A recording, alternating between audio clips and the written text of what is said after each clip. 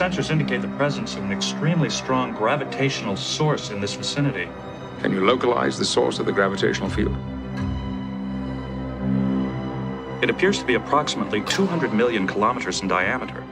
That's nearly as large as the Earth's orbit around the Sun. Mr. Data, could this be a Dyson sphere?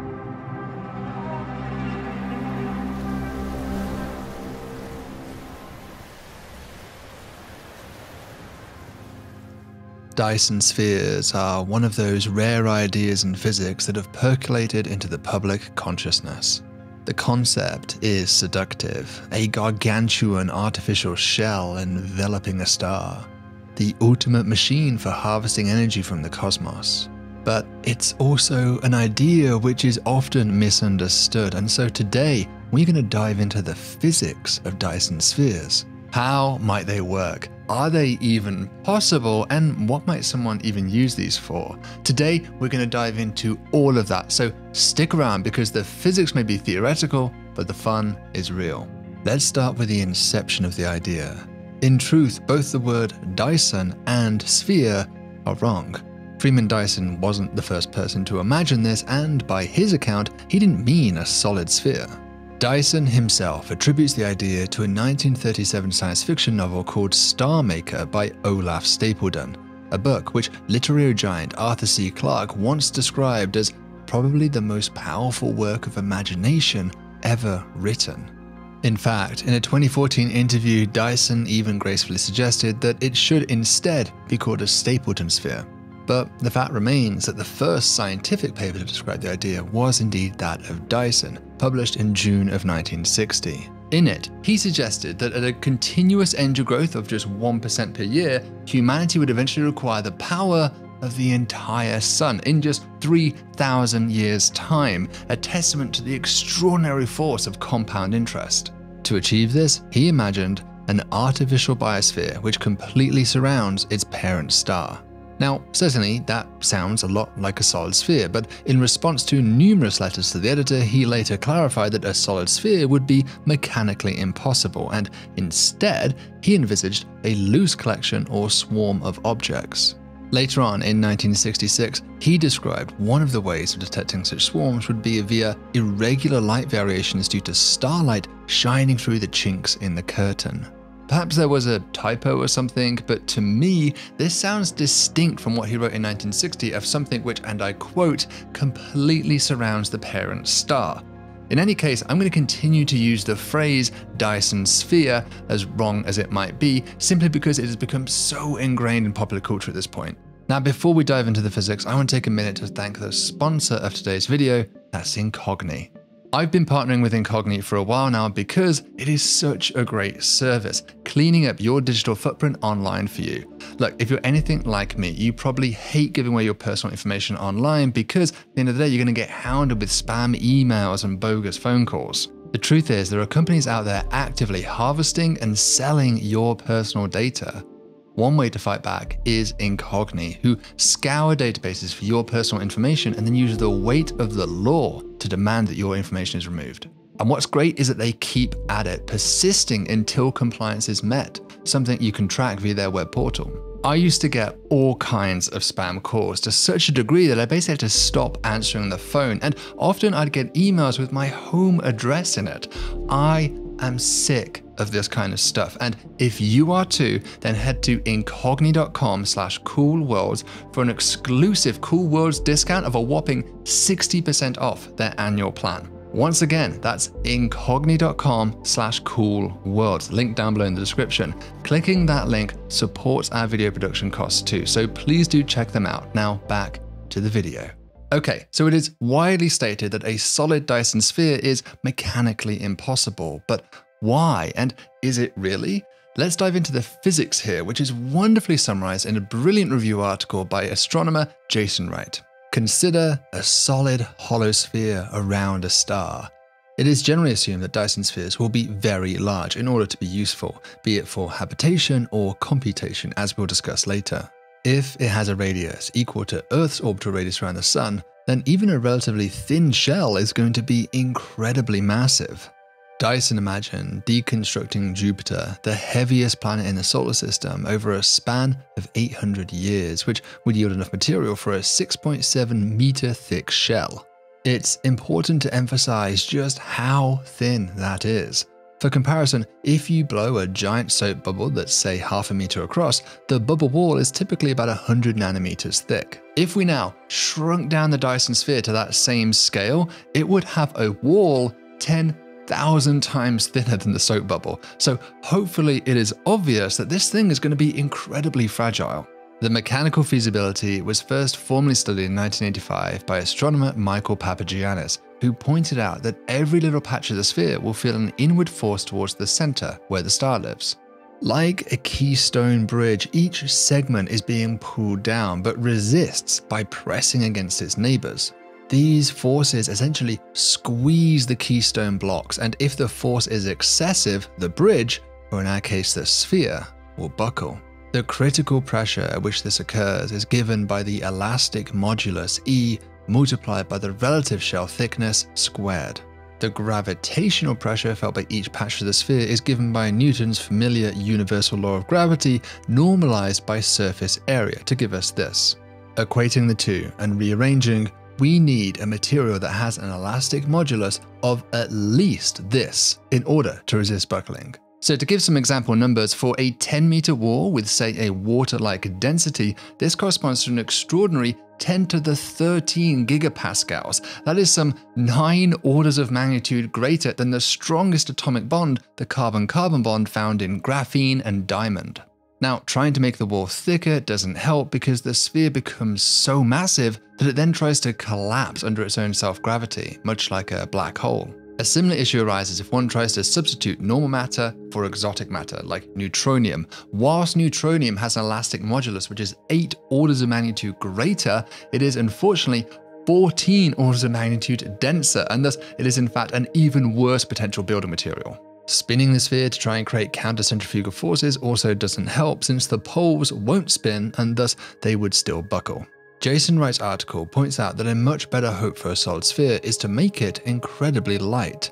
If we make it thin enough, radiation pressure from the star will push against the inner walls and prop it up, in the same way how a solar sail accelerates due to photonic pressure. The downside is that this requires a very thin wall though, with a mass density of just 1 gram per square meter, over a hundred times thinner than the lightest solar sail humanity has ever flown, LightSail 2. But there's no reason why we couldn't one day make a material like this. Indeed, the Breakthrough Starshot project believes that they can manufacture a similar kind of material which has a computer and power systems all interwoven into a smart fabric. This wouldn't be very useful for macroscopic organisms like us to live on, but it would be an immensely powerful supercomputer. It also has the added benefit of being overall much lighter. We'd now just have to deconstruct something the same mass as Mercury rather than that of Jupiter. An obvious downside here, though, is textile strength. How would such a material fare against a stray micrometeor or a solar flare? But mechanical stress isn't the only challenge facing Dyson spheres. There's also the question of gravitational stability. A particularly elegant theorem in physics is Gauss's law, which proves that the gravitational field felt within a spherical shell will be zero everywhere. Indeed, this also holds for other fields like electric or magnetic. In essence, all of the slight tugs in each direction cancel out to zero. This means that the star, enshrouded by this Dyson sphere, actually feels no force exerted upon it by the sphere itself. Yet more, this is true even if the star is offset from the central position. So, if we shifted the sphere over to one side, the star would just sit there, feeling no force and thus no reason to move. That's actually a bad thing though, because now there is no restoring force to keep the star and the sphere aligned to one another. What this means is that if the sphere experiences a slight nudge to one side, it will just drift across. As it does so, the star inside feels no difference, until of course it eventually crashes into the walls of the sphere. This situation is not an instability nor a stability, it's something in between, what you might call neutral stability, like a ball balanced on a ridge. Such things cannot last because, after all, the universe is filled with slight forces nudging things around all the time. Unless the sphere is willing to lose mass using reaction thrusters, but then of course it would eventually run out of mass, the only option it has to stabilize itself is to exhaust photons. To see this, consider first that if the sphere is solid everywhere, then photons coming off the star just hit the inner surface evenly, and these little nudges all add up to zero net momentum. Hopefully that makes sense. It's the same reason why you can't have a reactionless drive. And bonus physics point, it turns out that this is true whatever the shape of the envelope. It doesn't have to be a sphere. But let's now use that harvested solar energy and fire off a laser from the exterior surface out into deep space. That laser carries momentum and thus the sphere will experience a back reaction, being propelled in the other direction. In this way, a sphere could try to correct its position for slight nudges, but the problem is that light really doesn't carry much momentum, so this really isn't very effective. I estimate that there's enough force here to counter something like a Mercury mass planet passing by, at, say, Saturn's orbital distance away.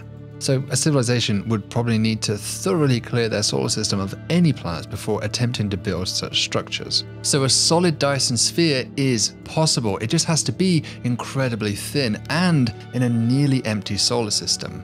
Now, everything we discussed so far are really engineering issues, but it is also interesting to look at the astrophysics here. If we put a blanket around the star, surely that is going to affect the star, right? After all, the inner surface of the sphere will be emitting photons, and a fraction of those will eventually strike the star. Some of these photons will be thermal emission from the sphere because it will be physically warm, and some of them will be photons simply reflecting off the interior. In just the past few years, astronomers like Macy Huston and Jason Wright have been exploring how these effects might impact the star itself. Keeping track of all of the different ways that photons can get reflected, absorbed, transmitted, and emitted, the conclusion is that the central star gets bombarded with extra energy that normal stars do not. As a result, the luminosity of the star is increased, the degree of which depends upon the details of the sphere's material properties. If the inner shell is highly reflective, the luminosity increases by a factor of 1 divided by t, where t is the fraction of light which transmits straight through the shell. So, if t were 0, we would have infinite growth in the luminosity and thus the star would clearly be unstable. Barring this extreme case, the photonic feedback can be quite stable and leads to some interesting effects on the star. As the star gets bombarded with this extra energy, it responds in the way that stars always do to increased heat it puffs up. After all, it is just a ball of ionized gas. The star thus swells in radius, and as a result, the surface cools down, as well as decreasing the inner core pressure. So, this means that we have two key effects. First, the star becomes redder, which is actually kind of annoying. Red light has less exergy than blue light, which is a measure of the useful amount of work that can be extracted. Second, and more usefully, the decreased core pressure means that the rate of internal fusion drops. Thus, the star will burn fuel slower and thus last longer. In this way, one could actually extend the lifetime of a star. Here at the Cool Worlds Lab, we've developed another way of extending stellar lifetimes by using star lifting, that is, physically removing mass off the star. One might then imagine that an advanced civilization could use both strategies to precisely engineer the parameters of their star to whatever they want. So, we showed earlier that Dyson spheres are plausibly stable, at least under certain assumptions, and now we've established that they would also not destabilize their parent star. Great! The only thing left to wonder, though, is motive. Why would an advanced civilization do this? Certainly, Dyson's original energy growth argument is a good one, which Nikolai Kardashev extended in his famous paper classifying civilizations into three types. You can see our earlier video all about that. But what does a civilization actually do with all of this energy? Dyson's original vision of an artificial biosphere seems difficult. After all, the only stable monoliths are outrageously light. Recently, much more attention has been given to the idea of using these things as the ultimate computers. Perhaps in a post biological world, civilizations upload their minds to the virtual domain, an idea we explored in our video Outlasting the Universe. The physics of computation now enters the chat, and here the most important parameter is temperature. Physicist Rolf Landauer proved in 1961 that the maximum rate of classical computational operations possible is inversely proportional to the temperature of the computer. This is now known as Landauer's limit. Now, things are admittedly more complicated for quantum computers, but again, it is clear that low temperatures are preferable because that reduces the thermal noise and makes it easier to maintain quantum coherence. Cooler temperatures mean a bigger sphere. Just think about putting your hands close or far from the campfire. It turns out that even in the classical case, a Dyson supercomputer that was about 300 Kelvin would be capable of some 10 to the 47 logical operations per second. That is enough that you could simulate something like 10 to the 33 human brains, a truly outrageous number. From this, my hot take is that there is a good argument why Dyson Sphere builders would prefer the smallest red dwarf stars in the universe due to three reasons. First, they live the longest, up to trillions of years. Second, they are inherently much cooler, and that means that if you want to build a 300 Kelvin Dyson sphere around it, that sphere can be 40 times smaller in diameter as compared to the Sun, and thus you need 1600 times less material.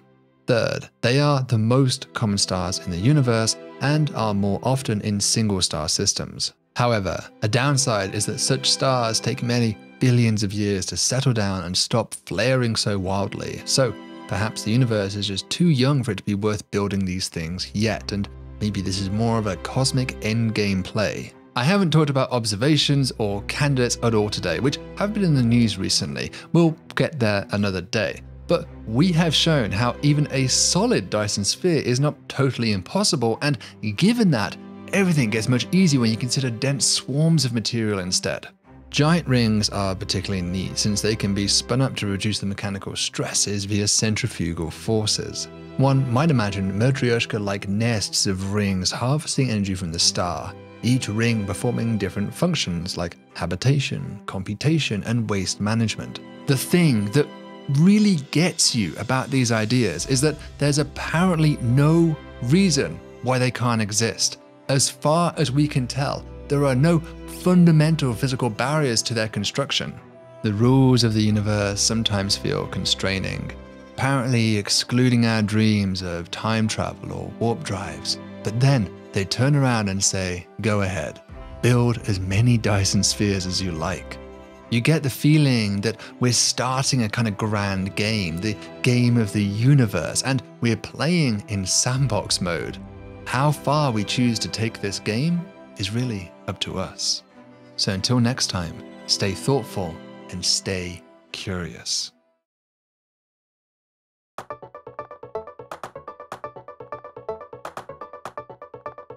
Thank you so much for watching this video, everybody. If you enjoyed it, then please do hit that subscribe button. It really does help us out. And if you want to become a super supporter, you can use the link up above and down below where you can become a donor to my research team, the Cool Worlds Lab. Just like our latest supporter, that is Hunter Schiff. Thank you so much for your support, Hunter. Appreciate you. All right, everyone. Thanks again.